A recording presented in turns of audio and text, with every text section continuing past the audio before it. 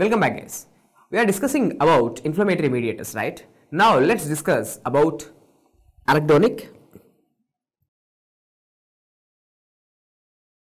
acid metabolites. So what exactly are these arachidonic acid metabolites? First of all, what is this arachidonic acid and how it is going to help us in producing the inflammatory mediators? See, you need to know every cell is made up of cell membranes. In the cell membranes, okay, in the cell membranes, there is something called as phospholipids. So, phospholipids. So, the phospholipids which are present in the cell membrane during inflammatory conditions, when they are acted upon by an enzyme, they are going to break down, the phospholipids are going to break down into a substance called as arachidonic acid. Okay, arachidonic acid. And who is going to help in this breakdown, the phospholipids conversion into arachidonic acid? The enzyme is called as phospholipase. So it makes sense, right? Phospholipase. It's, going to break down the phospholipids. Okay, phospholipase A2, RC, phospholipase A2 or phospholipase C. Okay. Now, this arachidonic acid, now it can enter into different pathways. Okay, now it is entering, say, into different different pathways for the production of different types of inflammatory mediators. If it is acted upon by an enzyme called as cyclooxygenase, a different types of inflammatory mediators are produced. If it goes into lipoxygenase pathway, different types of mediators, it can either go into cytochrome P450, okay, uh, pathway.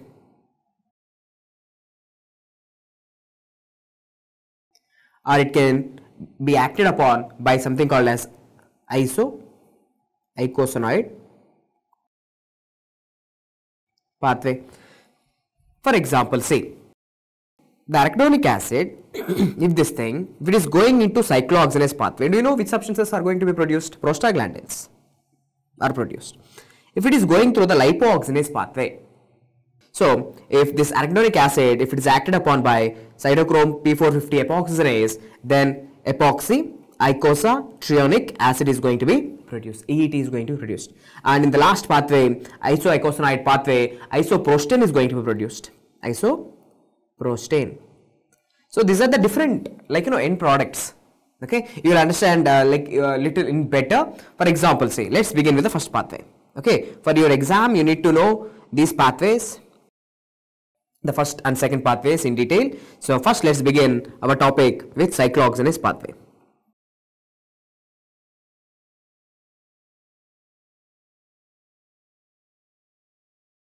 Okay, cyclooxygenase pathway. So in this cyclooxygenase pathway, you already know it. So let's come from the beginning. Membrane, phospholipids. So membrane phospholipids are going to break down okay with the help of same phospholipase A2 or phospholipase C with the help of this enzyme it's going to break down into arachidonic acid. Till here you already know it arachidonic acid. The point which I want you to know is have you ever heard about steroids are immunosuppressants? Steroids are anti-inflammatory. Do you know why? See if you use the drug steroids dexamethasone hydrocortisone like you know the steroid kind of drugs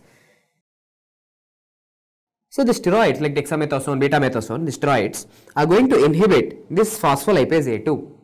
So when phospholipase A2 is inhibited, then do you think arachidonic acid is going to produce? This arachidonic acid? No. Arachidonic acid is not going to be produced. Without arachidonic acid, do you think inflammatory mediators are going to be produced? No. So in that way, it's going to inhibit the steroids are going to inhibit the inflammation, anti-inflammatory. okay. Now, what happened to this arachidonic acid? See, right now we are discussing about the cyclooxygenase pathway. So now this arachidonic acid, when it is acted upon by an enzyme called as cyclooxygenase, there are two types of cyclooxygenase, that is uh, type 1 and type 2. But anyway, when this arachidonic acid is acted upon by an enzyme called as cyclooxygenase, now prostaglandin, okay, PGG2 is produced, prostaglandin G2 is produced, okay, prostaglandin G2 molecule is produced. First, so this is our precursor. Okay, prostaglandin G2 is produced. Now this prostaglandin G2, when it is acted upon by peroxidases,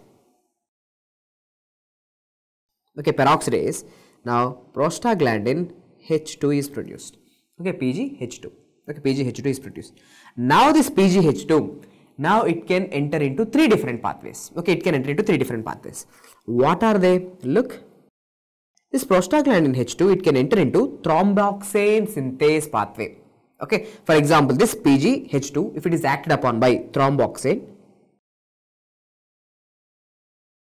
synthase, thromboxane synthase is an enzyme.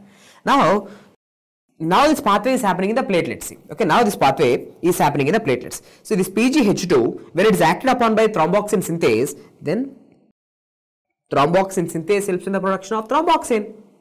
Okay, so this is thromboxane A2. Thromboxane A2 is coming. And what is the point of this thro thromboxane A2? What is the uh, work? Okay, what is the function of this thromboxane A2? Is platelet aggregation.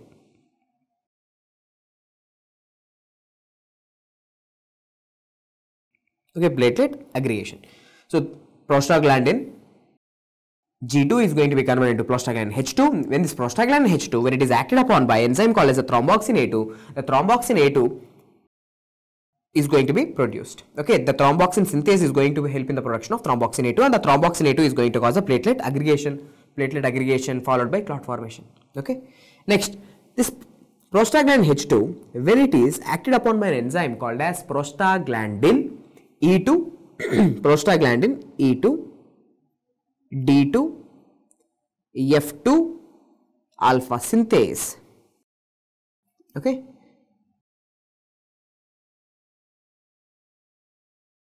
When it is acted upon by the synthase, prostaglandin E2, D2, F2 synthase, then prostaglandin E2 is going to be produced. Prostaglandin D2 and prostaglandin F2 alpha is going to be produced. Now, what is the function of this prostaglandin E2? Why do we need it? Prostaglandin E2 is the one which causes the pain, okay, which increases the pain. Prostaglandin D2 is going to cause a vasodilation mainly, vasodilation. And prostaglandin F2 alpha, which is also called as a carboprost, which causes the uterine contractions. It can cause uterine contractions. Okay, these are the points which I want you to know. So, prostaglandin H2, it can it can produce thromboxane A2 It can produce prostaglandins like D2, E2, F2. Next, the same prostaglandin H2, prostacyclin synthase. Who is going to produce? Prostacyclin, the name itself is that is going to synthesize the prostacyclins. So, what is that prostacyclin, sir? The prostacyclin is PGI2, which is also called as prostacyclin. So, what is prostacyclin will do? The prostacyclins will cause vasodilation it will cause vasodilation as well as anti-platelet aggregation. Okay, anti-platelet aggregation means inhibits the platelet aggregation. Okay, so this is about the cyclooxygenase pathway. So in cyclooxygenase pathway, at the end of the day, look here, which substances are getting produced?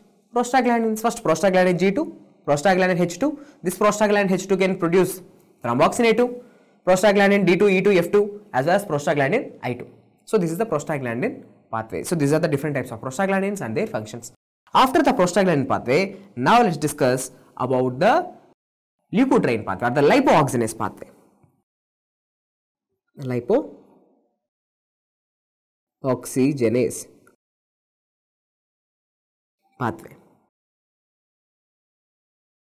Okay, so lipoxygenase pathway. In this lipooxygenase pathway, again let's begin with the membrane phospholipids. Okay, membrane phospholipids. See, this membrane phospholipids, again same thing unite when it is acted upon by phospholipase A2, arachidonic acid is going to be produced. Now this arachidonic acid, see now this arachidonic acid, it is acted upon by a different enzyme. What is the name of that enzyme? 5-lipooxygenase. 5-lipooxygenase. When it is acted upon by 5-lipooxygenase, then leukotriene A4 is going to be produced. Okay, leukotriene A4. Now this leukotriene A4, it's going to be acted upon by an enzyme called as leukotriene C4 synthase. Okay, see, now it is acted upon by leukotriene C4 synthase. Now in the name itself is then who is going to be produced? Leukotriene C4 is going to be produced. Now this leukotriene C4 is going to be converted into leukotriene D4. Okay, leukotriene D4. But what is the enzyme that's helping in this conversion from leukotriene C4 to leukotriene D4? It is gamma glutamyl transferase. Gamma glutamyl transferase the gamma glutamyl transferase. Now this leukotriene D4 it is going to be converted into leukotriene E4 with the help of an enzyme called as dipeptidase. So at the end of the day what we have synthesized? Leukotriene C4 D4 E4 at the end of the day we have synthesized the leukotriene different types of leukotriene C4 D4 E4 okay? See these leukotrienes are the most potent bronchoconstrictors most potent bronchoconstrictors.